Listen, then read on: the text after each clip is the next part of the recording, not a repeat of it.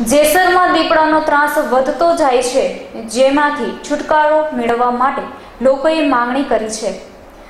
દીપડાના ત્રાસથી મુક્તિ મેળવવા મામલતદાર જેસરથી થયેલ રજૂઆત છતાં પણ કોઈ જ કાર્યવાહી કરવામાં આવી નથી. ગત તારીખ સિત્યાવીસના રોજ તાતણિયા ગામના વૃદ્ધ મહિલા પર જીવલેણ હુમલો થતા સમગ્ર તાલુકામાં આક્રોશ ભભૂકી ઉઠ્યો છે. આ તકે ગુજરાત જનચેતના પાર્ટીના અધ્યક્ષ દિવ્યેશભાઈ ચાવડા મહામંત્રી અશોકભાઈ ભાડિયા સહિતના આગેવાનો ખાસ ઉપસ્થિત રહ્યા હતા.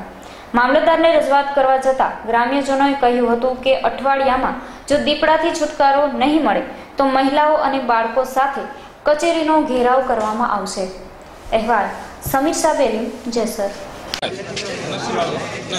અશોક ભાલિયા આજરોજ જેસર તાલુકાના કરજાળા ઈંટિયા, કોબાડિયા, ટોળસલડી સહિત તાતણિયા ગામ આ ગામની અંદર હમણાં બે દિવસ પહેલા જ એક વૃદ્ધ મહિલા ઉપર રાતના ચાર વાગે નરભક્ષી દીપડા દ્વારા એને ઉપર હુમલો કરવામાં આવ્યો અને જીવલેણ હુમલાને કારણે અત્યારે દયનીય સ્થિતિમાં પણ મુકાયા છે.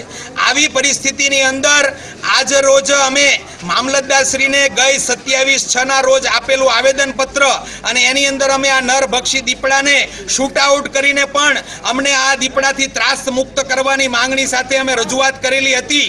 ત્યારે આજે અમે ફરી પાછો એ જ પત્ર અને સાથે સાથે નવી માંગણી સાથે રજૂઆત કરી છે. અને એની અંદર સૌથી વધારે જંગલ ખાતાના ત્રાસથી અને આ દીપડાના ત્રાસથી ત્રાહિમામ પોકારી ગયેલા એવા સાત જેટલા ગામડાની અંદર ગ્રામ સભા બોલાવવામાં આવે. મામલતદાર શ્રી ટીડીઓ અને ડીએફઓની હાજરીની અંદર ગામ સભાની અંદર ગામજનોનો મત લેવામાં આવે. કે અમારે આ દીપડા જોઈએ છે કે નથી જોતા? અને જો ન જોતા હોય, તો આ દીપડાને સદંતર અહીંયાથી દૂર કરવામાં આવે એવા ઠરાવ કરવાની માંગણી સાથે અમે અહીંયા આજે મામલતદાર શ્રીને રજૂઆત કરી છે. અને એની અંદર ખૂબ મોટી સંખ્યામાં તમામ ગામના સરપંચશ્રીઓએ અને સાથે સાથે તમામ જનતા જનાર્દને મોટા અવાજે મામલતદાર શ્રીને આ ત્રાસથી મુક્તિ આપવાની માંગણી કરી છે.